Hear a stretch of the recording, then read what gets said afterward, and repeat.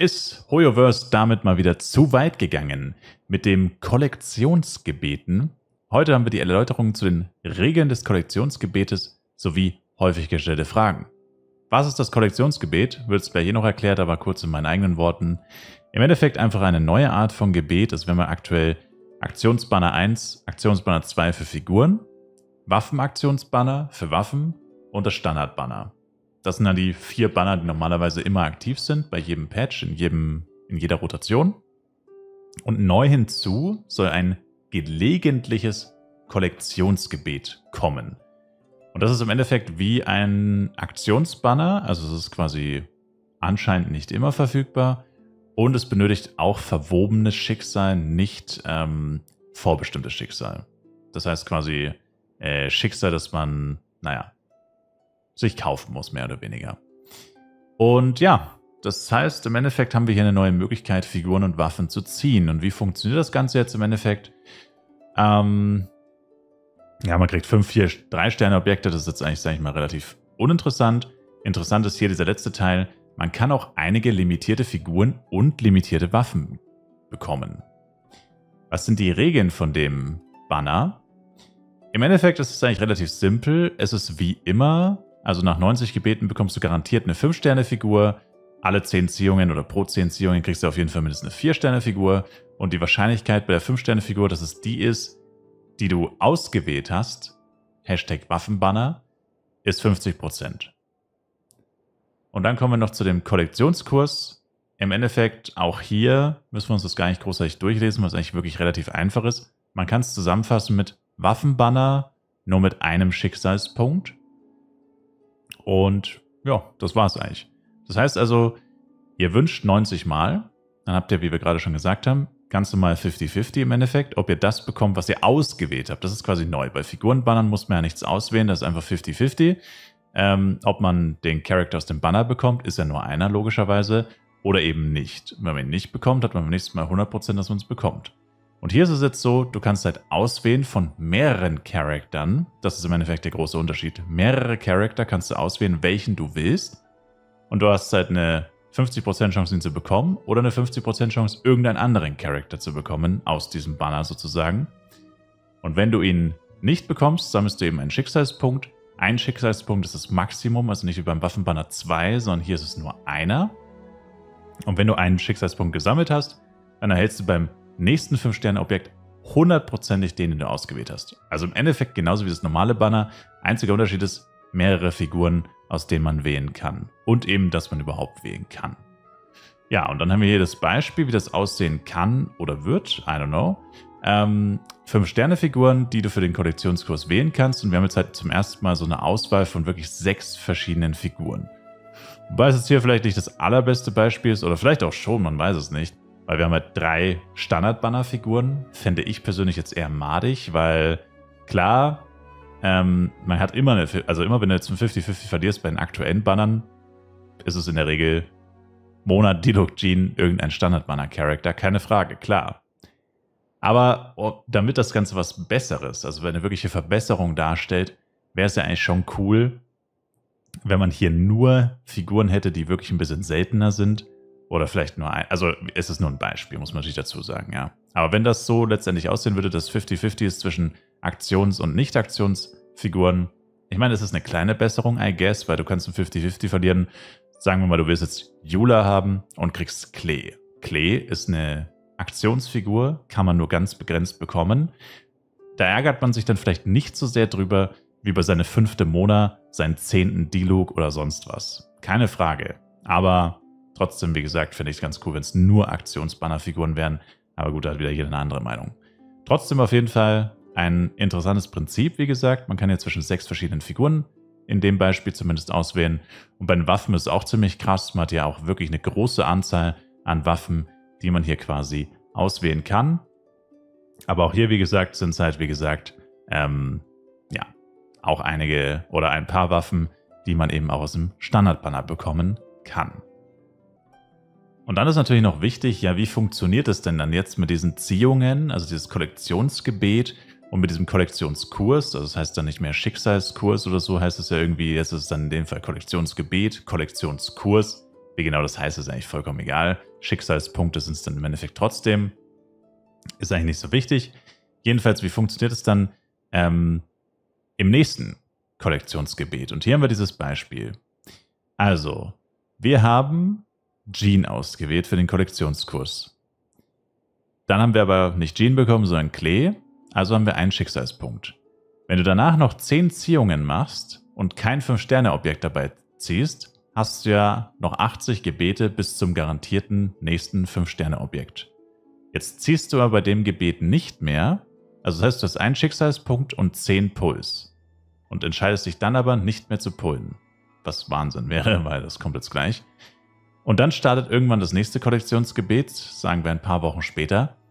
Dann resetten sie deinen Schicksalspunkt, den du vorher gesammelt hattest. Also du hast ja auf Jean äh, ge ge gepullt, hast aber Klee bekommen. Dann sagst du, nö, ich pull nicht mehr. Und dann löschen sie dir deinen Schicksalspunkt, aber deine 10 Puls, die werden gespeichert. Also du hast ja einen Schicksalspunkt und 10 Puls gemacht. Diese 10 Puls werden gespeichert, also du brauchst nur 80 dann bis zum nächsten 5 Sterne, bis zur nächsten garantierten 5 Sterne Figur. Ähm, aber es ist dann wieder ein 50-50, weil dein Schicksalspunkt ist halt weg. Und das ist das, was viele Leute extrem aufregt. Ich denke, wenn das nicht so wäre, dann wäre das wahrscheinlich ein großer Schritt in die richtige Richtung, wie man dafür sorgen kann, viel mehr Charakter viel schneller wieder accessible zu machen, als Monate oder im schlimmsten Fall sogar Jahre auf einen Rerun zu warten.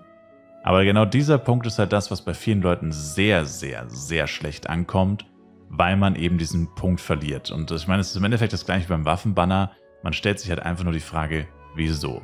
aber darüber können wir am Ende nochmal ein bisschen reden. Ähm, wechselt die Liste mit den Objekten für jedes Kollektionsgebet? Gibt es Regeln für diesen Wechsel? Das ist jetzt auch ganz interessant, aber ist auch so ein bisschen wischiwaschi, kann man sagen. Ähm, die bei jedem Kollektionsgebet zu erhaltenen Objekte können unterschiedlich ausfallen. Details dazu findest du in Ankündigungen der jeweiligen Aktion für Kollektionsgebete. Die limitierten 5-Sterne-Figuren müssen mindestens dreimal in einem Figurenaktionsgebet oder Aktionsgebet 2, ist das gleiche, erschienen sein dürfen in der letzten Zeit aber nicht in einem Aktionsgebet aufgetaucht sein, damit die Chance besteht, dass sie in ein Kollektionsgebet aufgenommen werden. Darüber hinaus besteht weiterhin die Möglichkeit, dass limitierte 5-Sterne-Figuren, die bereits in einem Kollektionsgebet erschienen sind, später nochmal in ein Kollektionsgebet oder in eine andere Kategorie des Aktionsgebets aufgenommen werden. So, was heißt das jetzt im Endeffekt? Es heißt im Endeffekt einfach nur, nur Charakter, die mindestens bereits dreimal, also quasi zwei Reruns, Release und zwei Reruns hatten, Bestes Beispiel Hutao, Yoimiya, Ayaka. Die alle wären jetzt hier Kandidaten dafür. Figuren, die jetzt erst neulich released wurden, oder kürzlich, sagen wir mal, zum Beispiel Furina, Novelette, Risley, all diese Figuren können da nicht auftauchen, weil die sind noch zu neu, was man auch ein bisschen verstehen kann. Klar, die sind jetzt noch nicht so alt, die hatten noch nicht mehr ihren Rerun, der aber sowieso bei den meisten dann wahrscheinlich auch so nicht lange auf sich warten lassen würde. Das ist im Endeffekt die Regel. Also Figuren müssen schon ein paar Reruns gehabt haben, müssen schon ein bisschen älter sein, heißt es auf gut Deutsch im Endeffekt einfach nur.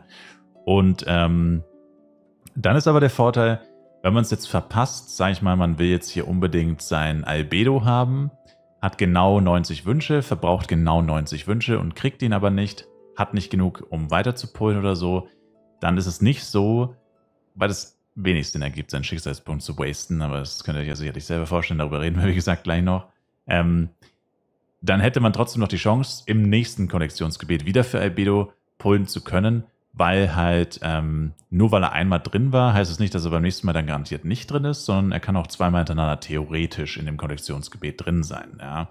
Also solange er nicht im Aktionsgebet aufgetaucht ist, ist quasi alles noch möglich. Und wann startet das Kollektionsgebet? Die Kollektionsgebete werden in unregelmäßigen Abständen verfügbar sein. Detail, Details dazu findest du in den offiziellen Mitteilungen. Also das war das, wie vorhin schon gesagt. Also wie genau das funktioniert, ist noch nicht ganz klar, aber es wird halt einfach immer zeitlich begrenzt sein. Und ja, man weiß nicht ganz genau wann. Und ähm, ja, dann sagen sie im Endeffekt noch so viel zu den häufig gestellten Fragen. Und wir sollen halt hier in den Kommentarbereich schreiben, wenn noch etwas unklar sein sollte.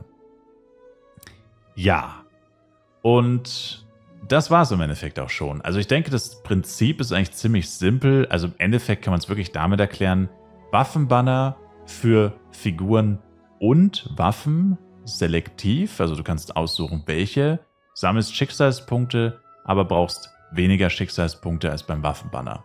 Quasi nur einen Schicksalspunkt und that's basically it.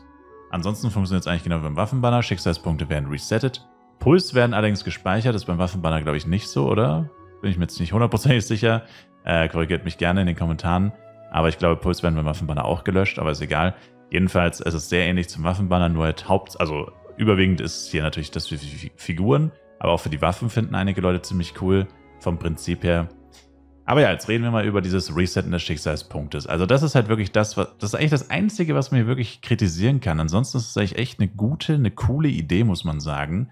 Klar, es ist immer noch, also immer noch, es wäre wahrscheinlich insgesamt für viele Leute immer noch besser. Man hätte einfach Figurenbanner.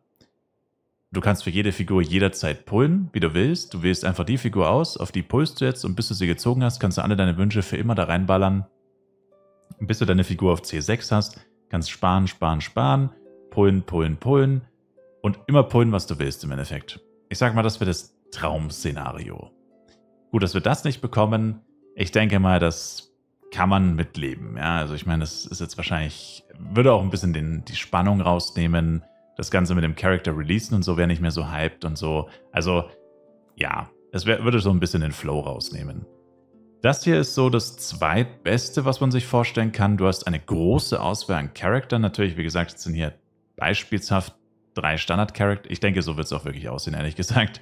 Ähm, drei Standard-Banner-Charakter mit drin.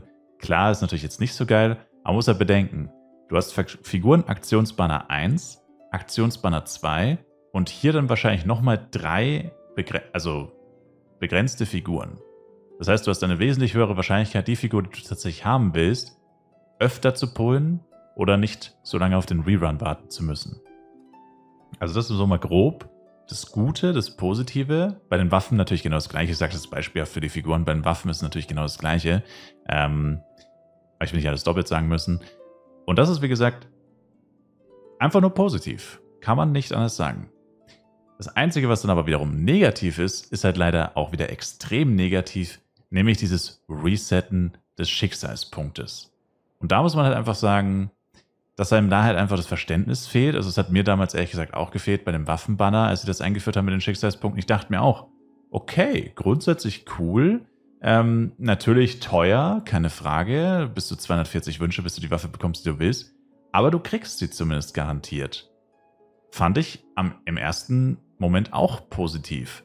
Aber dann halt, oh, ja, aber wenn du jetzt nach 190 Wünschen aufhörst mit zwei Schicksalspunkten und du hast die Waffe immer noch nicht gepullt, löschen wir deine Schicksalspunkte und beim nächsten Mal musst du wieder komplett von Null anfangen. Und das ist halt das, wo man sich dann denkt, ja, wieso? Also ihr habt doch mein Geld schon, wieso bestraft ihr mich jetzt auch noch dafür? Ich meine, ich habe doch, hab doch mein Geld oder meine Wünsche, meine Puls verbraucht. Warum werde ich jetzt bestraft? Warum löscht ihr mir das jetzt? Also das ist doch eigentlich blöd. Und das machen sie jetzt hier halt wieder. Hier muss man halt vorteilhafterweise sagen, okay, du hast nur einen Schicksalspunkt und wenn du mit null Schicksalspunkten aufhörst, werden deine Gebete übertragen. Das heißt, im Endeffekt muss man eigentlich in Anführungszeichen halt immer nur genügend Wünsche, mit genügend Wünschen an das Kollektionsgebet rangehen. Also jetzt ist halt von den Spielern quasi mehr ähm, Strategie, nennen wir Strategie gefragt, dass man halt wirklich genügend Wünsche hat, um wirklich das zu bekommen, was man will. Und dann kann nicht allzu viel schief gehen, weil du kannst dann nicht irgendwie halt sagen, na gut, ich habe jetzt hier äh, einen Schicksalspunkt und 70 Wünsche. Na gut, dann hattest du halt von vornherein nicht genügend Wünsche, um garantiert zu bekommen, was du willst. Garantiert zu bekommen, was du willst, heißt 180 Wünsche, ganz normal, wie beim normalen Figurenaktionsbanner auch. Musst immer vom Worst Case ausgehen, theoretisch. Andernfalls kann man sich eigentlich nicht wirklich beschweren. Und hier ist es halt das Gleiche ähm, solange man mit null Schicksalspunkten aufhört, werden die Ziehungen übertragen und man verliert nichts. Nur dann, wenn du mit zu wenigen Wünschen rangehst, du hoffst, dass du Glück hast, du hast kein Glück, endest mit einem Schicksalspunkt und im schlimmsten Fall sagen wir noch 70, 80 Wünsche, schaffst es nicht genug Wünsche ranzukriegen, hast kein Geld auf dem Konto, um aufzuladen und dein Schicksalspunkt geht weg und du hast einfach nur noch dein Leben. Das wäre der Worst Case, aber gut, so sollte man grundsätzlich natürlich jetzt auch in ein Gacha-Game mit solchen Mechaniken auch nicht unbedingt rangehen, weil hoffen, dass man Glück hat, ist da immer sehr gefährlich. Aber im Endeffekt ist das wirklich das Einzige, was man stark kritisieren kann und es ist auch das, was in den Kommentaren hier extrem stark kritisiert wird. Ähm, hier zum Beispiel, so if you lose to 50-50, you're guaranteed to get the character you want, but that guarantee resets in the next banner phase. Come on, Hoyo. Also im Endeffekt einfach auf gut Deutsch, sie löschen dir den Schicksalspunkt. Geil. Und ja, es sind eigentlich die meisten Kommentare. Ähm, ja, also genau das, was ich gerade zusammengefasst habe, eben diese Frage, warum das so sein muss. Warum kann man den Schicksalspunkt nicht einfach auch übertragen, sodass man halt eben erstens den garantierten 50-50 gewinnt und zweitens halt auch einfach sich nicht so veräppelt vorkommt. Und beim Waffenbanner ist es ja schon immer das gleiche gewesen, kann man sagen. Und jetzt machen sie ein neues Banner mit einem coolen System, aber machen den gleichen Fehler oder das gleiche bescheuerte System rein wie beim Waffenbanner und die Leute verstehen es einfach nicht. Was sagt ihr dazu? Seid ihr Fan von dem neuen Prinzip? Also wie gesagt, wenn man mit Strategie rangeht, ich sage nichts, dass es positiv ist mit dem Schicksalspunkt, ich will das gar nicht in Schutz nehmen, keine Frage. Aber offensichtlich haben sie sich dafür entschieden, es so zu machen und wir wissen ja, wie es bei Genshin Impact ist, wenn die sich einmal, also wenn die einmal irgendwas machen, es ändert sich so gut wie nie irgendwas zum Spielerfreundlichen, zum Positiven kann man nur sagen. Also es ist selten, dass sie so etwas komplett neu machen oder überarbeiten. Haben sie bei den normalen Bannern auch eigentlich gefühlt noch nie gemacht, außer die eine Änderung am Waffenbanner damals. Von dem her, ähm, ja, es ist halt schwierig, schwierige Situation auf jeden Fall. Aber ich sehe es halt, ich probiere es positiv zu sehen und denke mir halt einfach, man hat jetzt die Chance, noch früher an einen Rerun zu kommen von seiner Lieblingsfigur. Und wenn man halt wirklich fest im Kopf hat, ich will diese Figur, ich spare, spare, spare, dann hat man in der Regel auch so viele Wünsche, dass es klappen sollte. Und man muss da dann immer im Kopf behalten, niemals so wünschen, dass du mit einem Schicksalspunkt aufhörst, beziehungsweise immer genügend Wünsche zu haben, dass man auf keinen Fall einen Schicksalspunkt übrig hat. Wenn man das beherzigt, wenn man das berücksichtigt, dann kann eigentlich nicht zu viel schiefgehen. Dass man das berücksichtigen muss, dass man jetzt viel mehr Wünsche auf Lager haben muss, um zu, dafür zu sorgen, dass du diesen Schicksalspunkt nicht übrig hast am Ende, das ist natürlich total, komplett bescheuert gebe ich euch allen recht. Aber wie gesagt, wir müssen jetzt damit leben. Es wird genauso kommen, wie es hier steht. Sie werden Feedback vielleicht in ein paar Jahren vielleicht mal wieder annehmen, was das angeht. Und ja, es ist blöd, aber man muss halt das Beste draus machen. Und wie gesagt, ich denke, viele Leute werden es dann langfristig trotzdem eher wieder als positiv betrachten, weil sie dann nicht mehr ganz so lange auf die Reruns von vielleicht Figuren warten müssen, die von Hoyoverse sonst vergessen worden wären oder vergessen werden würden. Bis zum nächsten Mal mit Genshin Impact. Ich würde mich selber ein Like, Kommentar, ein Abo von euch freuen. Macht's gut, haut's rein und ciao, ciao.